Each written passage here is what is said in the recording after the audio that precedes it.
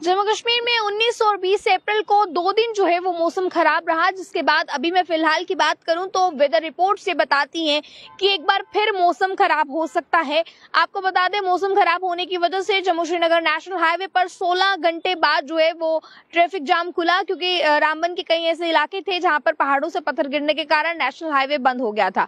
Mughal road का भी कुछ ऐसे ही वाक्य था। जिसके बाद अभी फ़िलहाल मैं आपको बता दू, दो दिन से लगातार मौसम खुश्क नज़र आ रहा है और अब ऐसी आशंकाएँ जताई जा रही हैं कि पहले अठारह और उन्नीस की बात की जाए तो जिस तरह से मौसम उस समय खराब था, वैसे ही मौसम जो है वो भी खराब हो सकता है, क्योंकि जब फ़िलहाल ये बताया जा रहा है कि 21 से 25 अप्रैल तक मौसम के मिजाज जो है वो खुश्क बने रहेंगे और इसी दौरान मैं आपको ये भी बता दूँ, ये बताया जा रहा है कि 26 अप्रैल को फिर एक बार मौसम खराब हो सकता है। पहाड़ी इलाकों में जो उचली पहाड़ी इलाके, अपर रिचेस के इलाके हैं, वहाँ पर जो है स्नोफॉल भी हो सकती है और इसी के साथ मैदानी इलाकों में बारिश का भी सिलसिला देखने को मिल सकता है। इसी के साथ मैं आपको फ़िलहाल बता दूँ, ये आशंकाएँ जो है वो जताई जा रही है। विभोग, आपको बता दें, विभोग का प्रभाव जो है वो 28 अप्रैल तक रहेगा। यानी कि जो 26 अप्रैल से लेकर 28 अप्रैल तक मौसम खराब रह सकता है, तेज बारिश हो सकती है। हालाँकि जो बारिश पिछले दिनों देखने को मिली, इसके बाद जो है वो कई ऐसे राज्य भी थे जहाँ पर लोगों की फ़सलें खराब हो गई, काफ़ी नुकसान जो है वो लोगों को हुआ।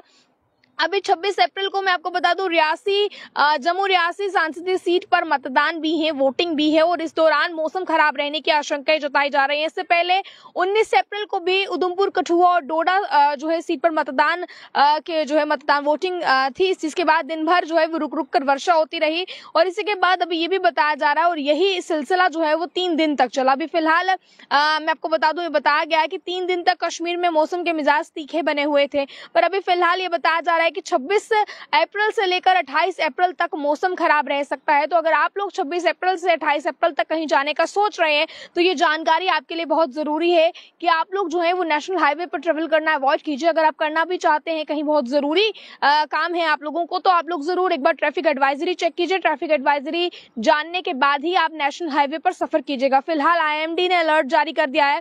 आईएमडी ने 21 अप्रैल से लेकर 25 अप्रैल तक मौसम के मिजाज खुश्क बने रहेंगे, ये बताया और 26 अप्रैल से लेकर 28 अप्रैल तक रुक रुक कर बारिश जो है वो हो सकती है और कहीं पर तेज बारिश भी हो सकती है। इस बात की आशंकाएँ जो है वो जताई हैं।